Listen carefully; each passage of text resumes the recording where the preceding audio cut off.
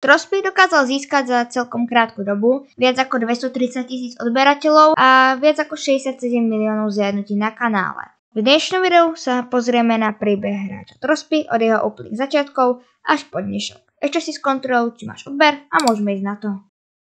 Trospy si založil kanál 27.12.2019 a hneď v ten deň vydal svoje prvé video. Vtipné momenty z eventu z toho hráčov. Na to, že to bolo iba teraz prvé video, dosť dobré a síce malo iba 3 minúty, ale tak či tak získal úspech a teraz má už 140 tisíc zjadnutí a skoro 7000 lajkov. Trospy naďalej vydával videá z Jakariho eventov, UAC ranov a SGčiek, ktoré však ani zďaleka nemali toľko views ako videá z Jakariho eventov. Zo začiatku vydával videá ešte takmer každý deň, avšak potom mu to už trošku prestávalo ísť. Odbery pribudali Trospy mu fakt rýchlo, takže svojich prvých tisíc odberateľov získal veľmi rýchlo točil aj nejaké videá o klientoch a aj svoje na obez nastavenie. A potom začala u Trospieho nová séria a to vaše zaujímavé otázky. Vo videách Trospie odpovedal na otázky fanúšikov a popri tom hral Hypixel Bed Wars. Asi to celkom jeho fanúšikov bavilo, keďže na jeho kanále už doteraz vyšlo celkom dosť dielov. Ďalej začal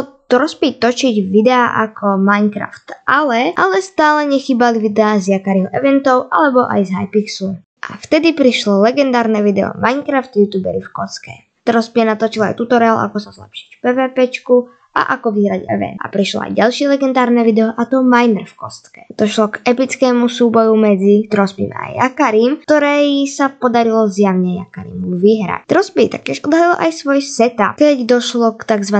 Miner dráme. Trospy chcel ísť na Miner, avšak game ho tam nechcel a Trospy sa za to urazil. A Trospy si kúpil novú myš a to Glorious Model of Wireless, čo je fakt veľmi dobrá myš. Uh, ja osobne mám tiež Glorious Model O, ale s ňou dostal uh, Trospy ban na SGčkách kvôli tomu, že používal bug, naučil sa z Glorusku aj Drakly a natočil svoj prvý song a to je Trospy Planeta Zombie. Teraz má tento song už vyše 650 tisíc zliadnutí a potom ukázal svoj nový setup, ktorý už bol o niečo lepší. Trospy spravil aj stream, v ktorom sa snažil nájsť na 2 Team Moona, však nakoniec sa mu to nepodarilo. Moon si myslel, že sa ho Trospy pokúšal zabiť, avšak v skutočnosti mu chcel Trospy dať iba darček. A hneď na to vydal Trospy fakt dobré video, pokúsili sme sa prežiť 100 dní v hardcore zombie apokalypse, keď sa s Hestrengom pokúšali prežiť 100 dní v zombie apokalypse. Trospy potom usporiadal Bedwars turnaj medzi ním, Hestrengom a Jakarim, ďalej točil videá zo Survivalu, Hypixelu a začal novú sériu menom Hardcore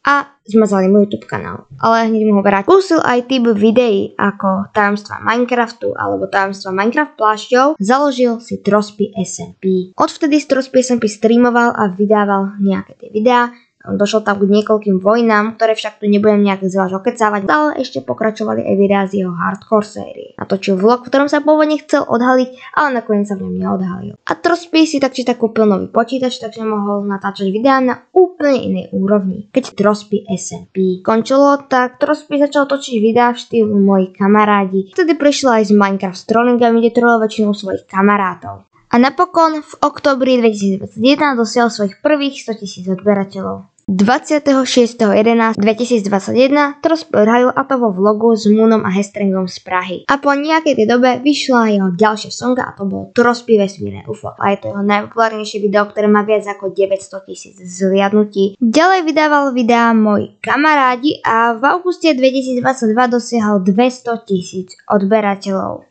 V septembri vydal svoj ďalší song a to Minecraft škola a rozhodne neprestal ani s Minecraft strollingami. Prednedávnom tiež odhalil svoj najnovší setup, ktorý vyzerá fakt dobre. Tak a to už by bolo pre toto video všetko. Dal som si s týmto známaj, takže budem veľmi rád za odber a ďakujem, že ste to pozerali a zatiaľ ahojte.